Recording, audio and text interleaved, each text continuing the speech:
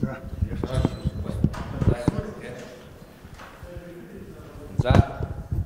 Болсон. За сайн байцгаана уу? Үүний өмнө та бүхэн бас миний урилга хүсэлтийг хүлээж аваад хүрэлцэн ирсэнд баяртай байна. Та бүхэн санаж байгаа энэ ковид-19 энэ коронавирусын нөхцөл байдлаас болоод хорой цэрэг дэглэм үүссэн. За энэс болоод эдийн засгийн байдал бол маш хүнд байгаа. Тийм ээ. Тэгэхээр яг ийм үед өнөөдөр юу вэ гэх юм бол зээл хойшлуулъя. Зээлийн хүүг зарцаая гэдэг асуудлыг тавиад тухайн үедээ бол цөөхөө хэвлэлийнхэнтэй хамт бид нар бол банкуудын холбоо болон за дээрэс нь бол төв банк сангийн амд албан бичиг хургуулж ирсэн. За энэ албан бичгийн дагуу банкуудын холбоо өөрсдөө хүсэл тавиад бид нар ингүүл зээлийг чинь зарцааж болох юм байна. Ингүүл зээлийг чинь хойшлуулж болох юм байна гэдэг хүсэлтийг сангийн амд хандсан байна. Албан бичгээр Монгол банкны холбооны ерөнхийлөгч одоо сая тэр Улаанбаатар юу бал гэдэг нэвтрүүлгээр орсон. Тэр нөгөө хин мэдрэгийн гар үсгтэй. Тэгээд 26 одоо миний мэдчээр бол 26 одоо байгууллага байдаг. Тэрний бол Монголд байгаа бүх томоохон банкуд нийлээд энэ шийдвэрийг өгсөн байна. Тэр нь юу гэвэл бодлогын хүүгээ та нар бууруулад хаач, активээ та нар тодорхой хувийг багасгаач. Тэгвэл бид нар 3 сараар хойшлуулъя гэж тохиролцоонд хүрсэн мөртлөө а юмаа буулгуулчаад хүүгэн багасгуулчаад активан багасгацсан мөртлөө иргэдийг бодохгүй байна. Иргэдийг одоо чирэгдүүлээд байна. Тийм учраас энэ хэвлэл мэдээллийн хэрэгслээр хэлэхэд энэ хувийн арилжааны одоо хувийн гэж ярьж байгаа ч гэсэн та нар бол одоо та нар гэдэг нь бид нар банкуудыг хэлж байгаа. Энэ 5 жил та нар ашиг олсон хамгийн сүүлдээ багаар утгаад. Энэ одоо нөгөө юу нацаг дөржийн зохиол дээр байдаг штэ нөгөө нэг цагаан сарва хар нулимс гэдэг шиг одоо энэ нөхдүүдийн таргалсан гэдэг бол яриас гэрээ сэтэрсэн. Өнөөдөр гээд зүгээр хамгийн энгийн жишээ хэлэхэд 300 тэрбум төгрөгийг одоо ноолгорыг дэмжиж гэдэг нэрээр нөгөө л ярддаг компаниуд руугаа л өгчээд байдаг.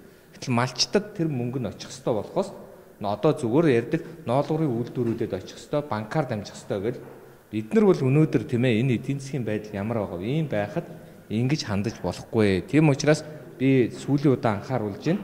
Өөрөөсөө зөвшөөрөөд өөрөөсөө хүсэлтэд тавьчихад тэгсэн ирнэ яг шийдвэрийн Монгол банк нөгөө хүүгийн бодлогын зөвлөл гаргачаад байхад энийг хэрэгжүүлэхгүй байгаа нь энэ бол залилын шүү, лөөр шүү гэдгийг хариуцлагатайгаар хэлмээр байна. Тийм учраас энийг яарвчлан шийдвэрээ гаргаа гэдгийг хэлмээр байна. За энэ бол нэгдүгээр асуудал. Хоёрдугаарт нь бол за Монгол улсын төсөв бол маш хүнд байдалтай болсон. За яагаад ийм хүнд байдалтай болсон бэ гэвэл төсөв гэж юу юу юм бэ? Ирээдүйд орж ирэх төлөвлөгөө. Бид нар хоёр их найдын алдагдaltaй төсөв баталсан.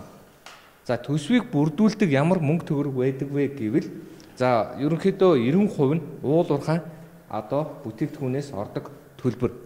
Энэ дотроо нэг номерын бүтээгдэхүүн бол зис, нүүрс, тэгээд жонш Тэгээд газрын тос гэсэн энэ дөрв бол төсвийн бараг 70 80%-ийг нь бүрдүүлж яадаг. Гэтэл өнөөдөр зис маань 6000-аар төсөвлөөд төлөвлөөд явж исэн зис маань 4000 болчиход байна. 4500 болчиход байна. Цаашдаач буух хандлагатай.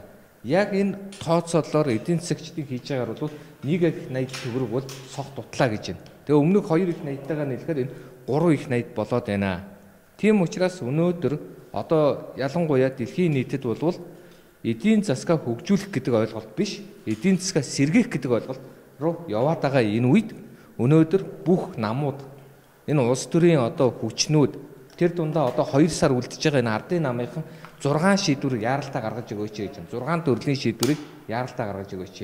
Үүнд нэгдүгüүрт нь төрөүний хэлдэг тэр сангийн ам оо одоо энэ хувийн компаниуд эмчин, хувийн арилжааны банкуд эмчин гэж хэлэлгүйгээр шууд очиж тэр банкуудыг шахаж шаардаж Нэгдүгüүрт нь юу хийх ёстой вэ гэвэл энэ зээл хойшлуулах, хүүг царцаах энэ алхмуудаа яарвчлан шахаж шаардаж хийгээд одоо баг залилан хийсэн гэсэн үг шүү дээ. Өөрсдөө одоо хямдралтай үнийг ахуулчаад хүсэлтэд гаргаж шийдвүлчгээд өрөөлүүдэд тийм ээ одоо ингэж хатуурхаж байгаа ийм одоо бузар булаа юм хийж байгаа нөхдүүд хариуцлага тооцоож гэж. Хоёрдугаарт нь аймгийн засаг дарга нарт чиглэл өгөөч. Тэр чиглэл өгөөд аймагт байгаа түрээс эрхэлдэг компаниудыг дуудаад урайлан дуудаж энэ түрээсийг багасгах алхмыг хийгээч. 3 дугаарт нь нөөтийг одоо яаралтай 3% болгооч. Нөөд бол одоо 10% байгаа. Нөөдийг 3% болгох уул нь хууль нь 5% гэдэг хууль бол өргөн баригдсан байгаа. А энийг бол нин яаралтай горимор хилэлцээд 3% болгооч. Энэ бол 3 дахь хүсэлт байгаа даа. За 4 дахь хүсэлт нь бол одоо ойрын миний мэдээр бол ойрын 2 жил бол байдал маш хүнд болно. Яагад вэ гэх юм бол бид нэр 30 тэрбум долларын өртөө тэр дундаа 21 оноос Чингис Самура бондын өрүүдгээд 1.5 тэрбум долларын өр төлөхөөс эхлээд хятадын Совоп гэдэг өрүүд байна. Дээрээс нь өнөөдөр энэ эдийн засаг өсөхгүй хандлагатай байна. Одоо ялангуяа одоо шатхууны үн байна. За дээрээс нь одоо энэ яриад байгаа зэсийн үн байна. Дээрээс нь жоншны үн байна. Ингээд ерөөсөө үнүүд бол унах хандлагатай биржүүд юм байна. Нүүрс ч гэсэн өсөхгүй байх хандлагатай яригадаад байна. Гэтэл ийм байдалд нь урьдчилсан одоо төлөвлөгөө нөгөө алсын хараа 50 биш. Одоо яг энэ ойрын 10 сард хийх төлөвлөгөөг их хурлаар оруулж батлуулаач. Яаралтай. За дээрээс нь хамгийн чухал нь өнөөдөр юу гэх юм бол энэ яриад байгаа төсвийн тодглоо нэг яралтай гэж 3 их найдан алдагдал үүсчлээ. Төвчж болох төсвүүдээ одоо бид нар танаач. Энэ шаардлагуудыг бид өгч байгаа За өцөгдөр бол намуудын зүгээс одоо мөрөөдлийн жагсаалтаа бол өглөө. Энэ бол мөрийн хөтөлбөр биш. Энийг бол би бол хатуу шүмжилж байгаа. Ялангуяа өнөөдөр цалин 5 сая хүргэнэ гэдэг бол энэ бол өстой тэнэглэл. Тэгэд ярьж байгаа тайлбар нь бол бүр том одоо тэнэглэл яриад байгаа. Өөрөөр хэлбэл 2000 онд тийм ээ авчижсэн цалин ягаад 2020 онд одоо тийм ээ 20 30 дахин өсөөгүй юм бэ гэж сургууль цэцэрлэг гэдэг 20 30 дахин баригдсан. Тэр хэмжээгээр багш нарын чинь тоон нэмэгдсэн. Тэр хэмжээгээр тэр сургууль цэцэрлэгийн чинь зардлууд нэмэгдсэн. Энгийн элементарны юмыг энийг ойлгохгүй нэ гэдэг бол юу гэсэн үг юм бэ? Тэр одоо яриад байгаа 3 сая гэдэг бол бас утгагүй. Энэ бол одоо байж болохгүй үйлдэл. Гэвэл энэ хилж байгаа зүйл чинь долларын ханшийг өсгөнө гэсэн үг. Юу бууруулна гэсэн үг. 3 сая одоо бид нар чи юу гэх юм бол 1000 1 доллар чинь 3000 2000 хэд гэдэг шүү дээ. Тэгэхээр энэ намуудын энэ хилээд байгаа үйлдэл чинь долларын ханшийг унгаах гад, валютыг унгаах гад байна. Тийм учраас ингэж юу гэдгийг бүгдээрээ төр барьж исэн хүмүүс шүү дээ. Ерөнхийлөгч хийжсэн хүн байна, ерөнхий сайд хийжсэн хүн байна. Одоо их хурлын гишүүн хийжсэн хүн байна. Төрд ажиллаж байгаагүй хүн бол одоо хамаагүй ярьж болно. Төрд ажиллаж исэн хүмүүс байж ич ялангуяа одоо энэ яриад байгаа хүүг нэг хөв болгон нийгмийн даатгалын шимтгэл төлсөн үнд байр өгнө гэдэг энэ ардын намынхан хүртэл ингээ болоо. Авилгалтай тэмцэх газар та нарын хэрэгүүд байгаа. Удахгүй шоронд ороход хоо бэлдээ дулаан уцаа бэлтцгээ та нар. А та нарыг бол ард хүмүүс сонгохгүй. Энийг бол ард хүмүүс хэлээд шүү дээ. Ард хүмүүс хоёр юмыг сонгохгүй. Худалч хүмүүсийг сонгохгүй, хулгайч хүнийг сонгохгүй. Тийм учраас худалч хулгайч хүмүүс юм бол та нар зүгээр л дулаан хувцаа бэлдээд эртгэн шиг цаг дулаан байгаа дээр Өнөөдөр тэр авилгал мавилгалынхаа хэргийг шийдүүлсэн нэрээ. Тэгэхгүйгээр өнөөдөр ард түмний хуураа дахиад төрийн ордонд орж ирэх гэдэг болохгүй. Тэгвэл төрөөрөө тоглож болохгүй гэдгийг би хэлэх гээд байна. Ийм л товчхон зүйл байна. Асуулт байна уу?